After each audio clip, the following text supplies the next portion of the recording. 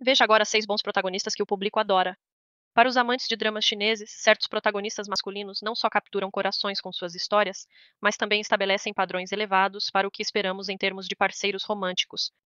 Lin Yi-Yang, interpretado por Leo Wu em Amidst a Snowstorm of Love, é a personificação do cavalheirismo.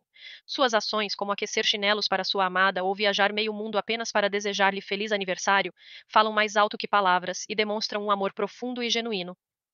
Yu-Tu, de You Are My Glory, interpretado por Yang Yang, é um engenheiro aeroespacial que equilibra sua carreira com sua vida amorosa, mostrando que é possível respeitar e apoiar as ambições do parceiro sem insegurança, mesmo que ela seja uma celebridade.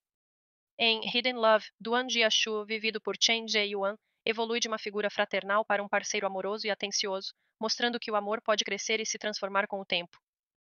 Li Shun, de Lighter and Princess, embora inicialmente possa parecer uma bandeira vermelha, prova ser uma bandeira verde ao se sacrificar pela felicidade da mulher que ama, um testemunho do amor verdadeiro e profundo. Gu Wei Yi, em Put Your Head on My Shoulder, interpretado por Lin Yi, mostra que amor e apoio podem ajudar o parceiro a encontrar seu caminho na vida, mesmo que inicialmente eles não tenham certeza de seus próprios caminhos.